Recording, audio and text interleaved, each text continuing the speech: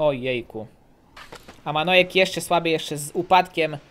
Zero punktów dla tego gracza, no i kto by się spodziewał? Siema Maneczko, witam was wszystkich bardzo, ale to bardzo serdecznie w najnowszym odcinku na moim kanale. Dzisiaj kontynuujemy Deluxe Ski Jump 4, kontynuujemy Puchar Świata ekipy. Zobaczymy, jak na razie idzie całkiem równo. Manojek ma lekką stratę, ale czy uda mu się nadrobić? Zobaczymy w tym odcinku. Zapraszam. Jeżeli jeszcze tego nie robisz, to bardzo Cię proszę, abyś zostawił przycisk subskrybuj na kanale i co najważniejsze, zostawił również dzwoneczek, tutaj potwierdził i zapisał. Bez dzwoneczka nie będą Wam się wyświetlały wszystkie filmy na kanale, a to bardzo dla mnie ważne. Dzięki, zapraszam do oglądania. Dobra, tak właśnie wygląda stan rozgrywki na po 11 konkursach. I ja jeden dzień nie grałem w DSJ i bardzo się stęskniłem za właśnie tą grą. Zobaczymy, jak mi pójdzie zimne ręce, bo dzisiaj nie jest wcale tak ciepło, ale jest dość równo. 820 Mati i Flotar, Furman 790, czyli blisko. No i Manojek ma lekką stratę. Całkiem sporą, ale nic co by się nie dało tego odrobić. Damy radę, więc zaczynajmy. Dobra, Manojek wrócił do rozpoczynania i Lileha Lille, Lillehammer 138 metrów. No i zobaczymy. Wiatr bardzo w sumie fajny.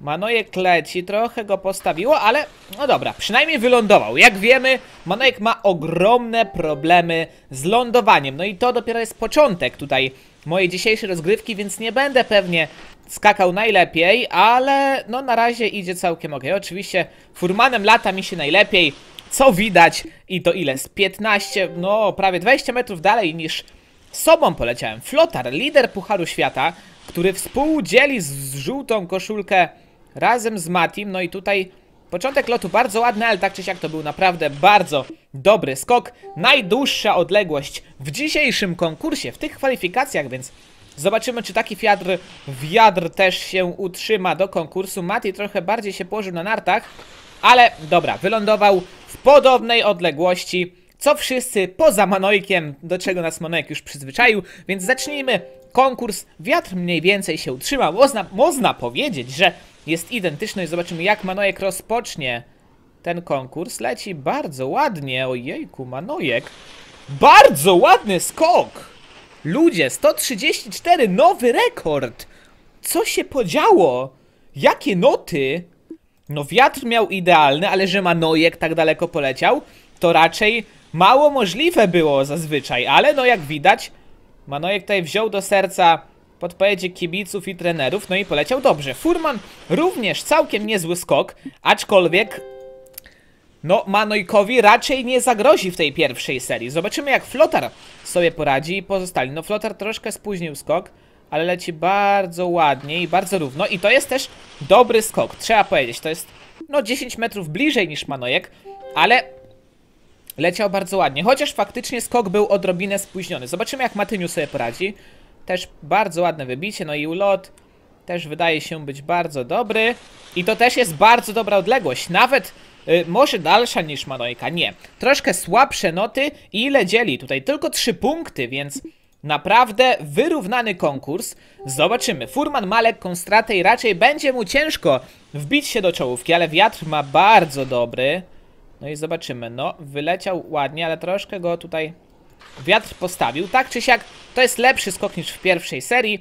No i w przypadku, kiedy ktoś, na przykład flotar, mógłby coś popsuć, no to furman wskoczyłby na podium. No i zobaczcie, no flotar, oj, oj, oj, oj. No flotarowi nie poszło w tym skoku, trzeba przyznać, bardzo słaby skok. 81 metrów nikt tak słabo nie skoczył w tym konkursie jak dotąd. No i Matyniu, zobaczymy, lider wraz z flotarem, oj, troszkę chyba się za słabo wybił. No i ląduje bezpiecznie, żeby wylądował. 106 metrów to też nie jest najlepszy wynik. Noty bardzo słabe. I Manojek, wiatr. Myślę, że bardzo dobry. Zobaczymy, czy Trema go nie zje.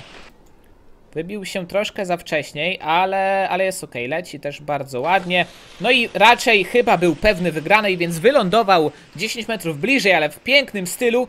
No i w takim oto e, razie Manojek z bardzo dużą przewagą wygrywa dzisiejszy pierwszy konkurs w tym odcinku. No i jestem z niego bardzo dumny. Jak wiecie, nie za bardzo, nie za dobrze mu szło w poprzednich konkursach. Zobaczmy, jak teraz wygląda tutaj sytuacja. Matyniu powiększa swoją przewagę nad flotarem do 30 punktów, ale Manojek odrobił. No i teraz tutaj trójka, drugie, trzecie, czwarte miejsce to jest e, 10 punktów różnicy. No i Matyniu odrobinę odleciał. Ale to dopiero 12 konkursów, półmetek. Zobaczymy, jak to dalej się potoczy.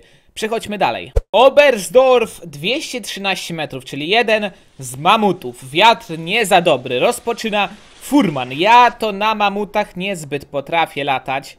Muszę przyznać, więc raczej tutaj będą odległości takie jak na dużej skoczni. Właśnie, 130 metrów. Furman troszeczkę jednak zepsuł na progu. Wybił się zdecydowanie za późno, no i to przesądziło jego tutaj pozycji w locie. Manojek jak na razie bardzo ładnie, troszeczkę go poniosło, ale tak czy siak to jest całkiem przyzwoity skok. 170 metrów to nie jest wcale źle. Zobaczymy jak Flotar. Flotar w, kwali w kwalifikacjach zazwyczaj radził sobie dobrze. W poprzednim kosz, w poprzednim odcinku, znaczy w, no, w poprzednim konkursie stracił koszulkę lidera. No i teraz bardzo, y, bardzo mu nie wyszedł ten skok. Niestety zaliczył upadek. No i widać było już od początku, że coś poszło nie tak. Albo wybicie, albo y, no, no nie do końca wiem co. No i lider Pucharu Świata, Matyniu, również bardzo krzywo się wybił.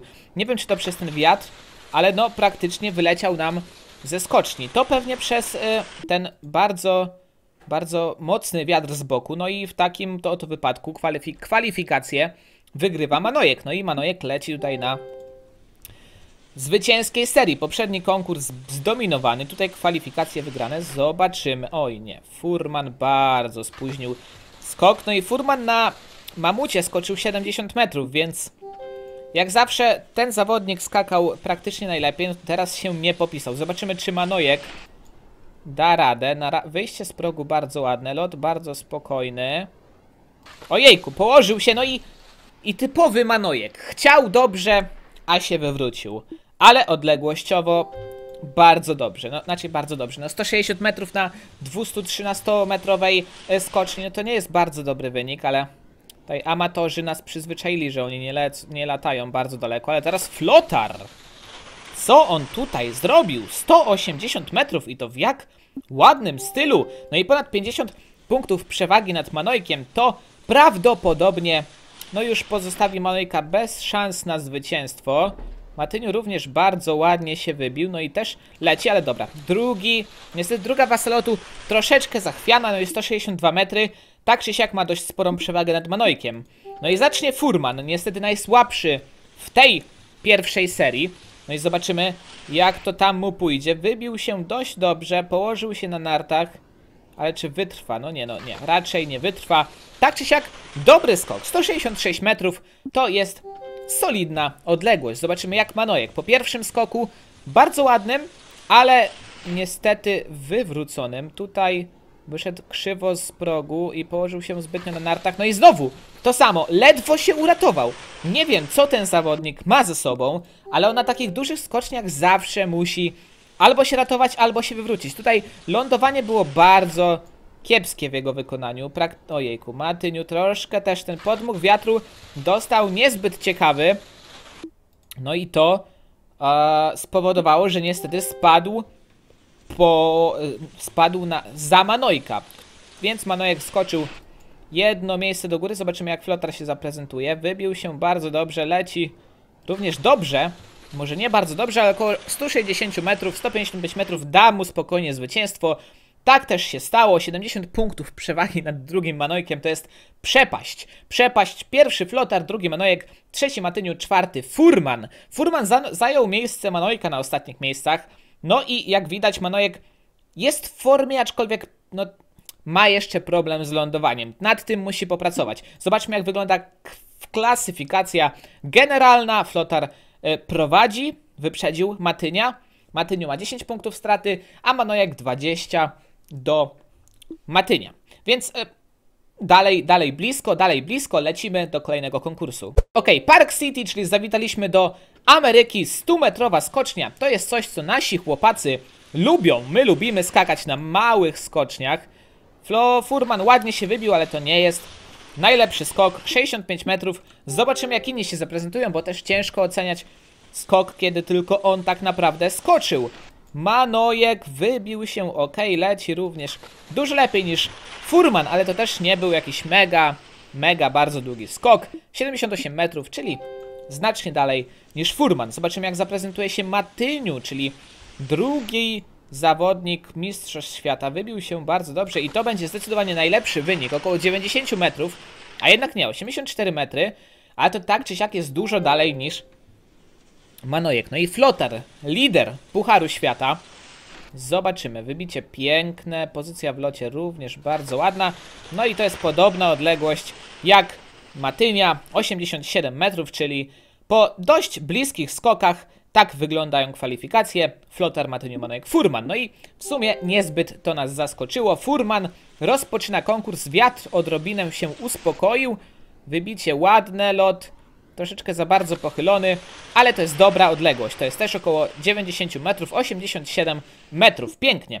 E, bardzo dobre noty za styl. 19, 18.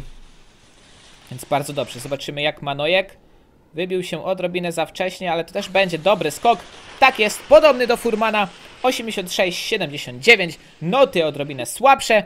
No i o jeden, dok dokładnie o jeden punkt przegrywa z Furmanem. Zobaczymy jak ci najlepsi się zaprezentują, czyli Matyniu i Flotar.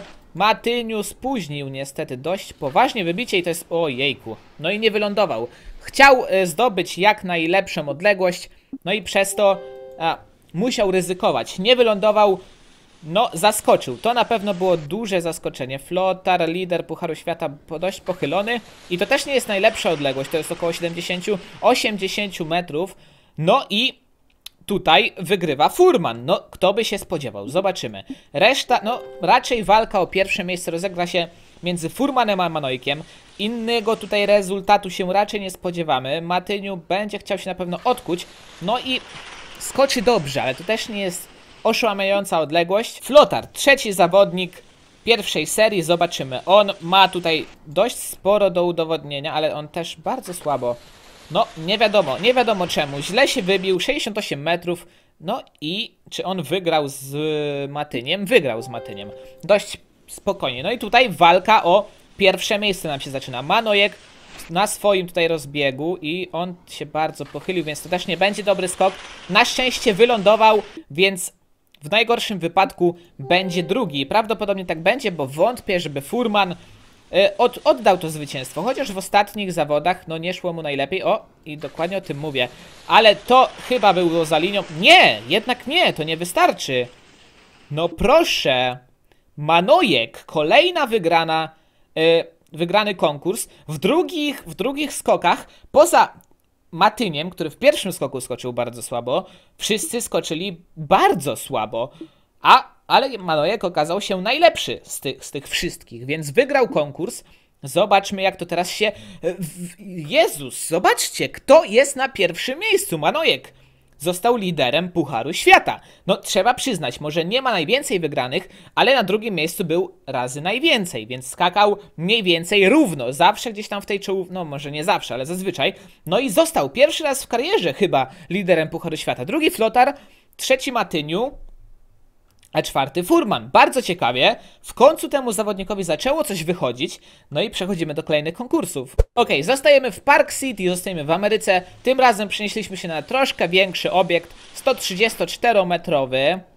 No i Furman rozpoczyna. Wybił się dobrze, to będzie dobry skok.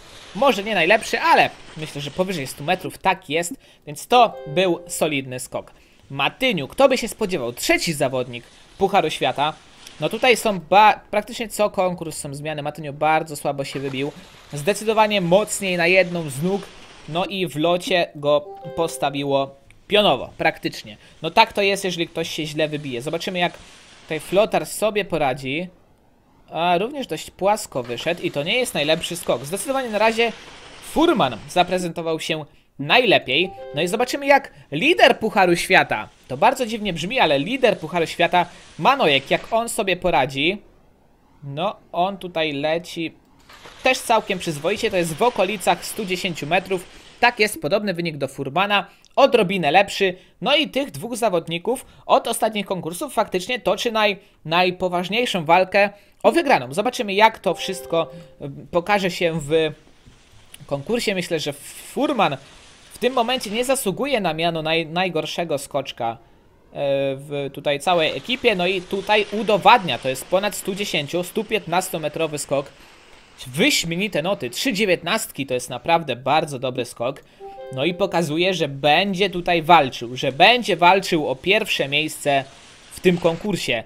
Matyniu, czy on coś z Ameryki pozytywnego przywiezie? No, też bardzo ładny skok. Jeszcze chyba dalszy.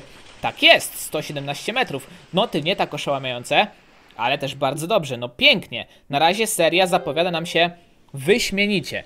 Bardzo równo, bardzo daleko. No i zobaczymy jak tutaj, czy Flotar da radę tutaj się wbić do czołówki. Niestety nie wygląda na to po spóźnionym, co by nie mówić, wybiciu. Bardzo słaby wynik, no i raczej Flotar odpada z rywalizacji o, o zwycięstwo w tym konkursie. A co? O jejku. A Manojek jeszcze słaby, jeszcze z upadkiem. Zero punktów dla tego gracza, no i kto by się spodziewał po tak wyśmienitym skoku w kwalifikacjach, że Manojek, lider Pucharu Świata, tak bardzo zepsuje swój skok. Coś tam się bardzo złego wydarzyło. No i teraz bardzo ładnie leci, ale to i tak nie da mu nic tak naprawdę. Poleciał najdalej e, ze wszystkich w tym konkursie. 118 metrów. No i, ale to nic mu nie da, gdyby w pierwszym konkursie poleciał choć połowę tego, to może miałby jakieś szanse na walkę, a natomiast teraz to już za późno. Flotar, kolejny skok średni, ale na pewno będzie przed Manojkiem. No szkoda mi tego zawodnika. Tak się wszyscy cieszyliśmy, że zdobył koszulkę lidera, a po jednym konkursie będzie musiał ją oddać. Furman również średni skok, 100 metrów zaledwie. No i Matyniu, chyba po to, aby przypieczętować zwycięstwo, raczej ciężko będzie mu zagrozić, jeżeli nic nie zepsuje, a nie wygląda na to, żeby coś zepsuł. Dość niespokojny lot, ale bardzo dobry, dwa równe skoki i solidne pierwsze miejsce. No, szkoda, bardzo szkoda Manojka. Zobaczmy, jak teraz to wszystko wygląda. Manojek spadł na drugie miejsce egzekwo z Flotarem, Furman dalej trzeci, no i Matyniu wychodzi na prowadzenie 20-punktowe nad Flotarem i Manojkiem. Hu! Przechodzimy dalej. Planica 215 metrów. Furman rozpoczyna zmaganie na mamucie. Na mamucie, jak wiemy wszyscy, niezbyt naszym skoczkom wychodzi latanie na mamutach. No i Furman to pokazuje po y, bardzo spóźnionym wybiciu. No niestety nie poleciał za dużo. Flotar, egzekwo drugi zawodnik Pucharu Świata. Wybił się znacznie lepiej, ale postawiło go strasznie płasko. No i to też nie będzie dobry wynik. Nawet jeszcze chyba gorszy niż Furmana. Tak jest. Zobaczymy, czy ten nieszczęsny Manojek, który no dość średnio sobie poradził w poprzednim... Ojejku. No tutaj widać, że coś jest nie tak. Coś się popsuło. 69 metrów. Myślę, że to nie był przypadek. Tak właśnie chciał chyba skoczyć nam tutaj Manojek. Taki śmieszek chciał zrobić. A co z Matyniem? Również bardzo... Nie wiem, czy to przez te warunki. Bardzo słabo idzie naszym tutaj skoczką. 130 metrów. No i co? Rozpoczynamy pierwszą serię. Furman. Przy wietrze od góry. Wybił się w końcu dobrze. No i zobaczymy. Może chociaż troszeczkę poleci. No, troszeczkę poleciał. 150 metrów około. To jest, no myślę, że ok wynik. Może dać mu to walkę o jakieś tam wyższe miejsca. Przynajmniej się nie wywrócił. To jest duży plus. Fulotar, bardzo ładne wybicie. A jak w locie? No leci ok. I dalej niż Furman. I to dużo dalej. To był naprawdę świetny skok. Mógł polecieć jeszcze, jeszcze, jeszcze. Natomiast wolał nie ryzykować. 176 metrów. To był atak na pierwsze miejsce. Tak mi się wydaje. Zobaczymy jak Manojek sobie poradzi. Bicie odrobinę spóźnione. Narty mu poszybowały w dół. No i ten próbuje wyciągnąć z tego skoku ile się da. Aczkolwiek nie był to najlepszy skok. No i będzie ciężko, będzie ciężko. 118 punktów tylko i wyłącznie. Obecnie trzecie miejsce, najsłabszy skok ze wszystkich. Matyniu spóźnił odrobinę swoje wybicie, ale w locie zachował się zazwyczaj dobrze. Tym razem niezbyt. I to jest najsłabszy skok w dzisiejszym konkursie. Flotar wychodzi na prowadzenie, no i Matyniu rozpocznie drugą serię. Zobaczymy jak to wszystko tutaj wyjdzie, jak to wszystko zostanie rozegrane. W Matyniu się wybija i miejmy na... Zobaczcie jak, bardzo, jak wysoko leci. To może być świetny skok. To był bardzo dobry skok. Gdyby może troszeczkę mniej tutaj nim łopotało. 182 metry. W tych warunkach wydaje mi się to bardzo dobrym wynikiem. Już po samym wyjściu z progu było widać, że to będzie cholernie daleki skok. No i Manojek no nie, no po tym wybiciu z progu nie widać nic, no i ten zawodnik trema go zjadła, no to po prostu jest jakaś tragedia.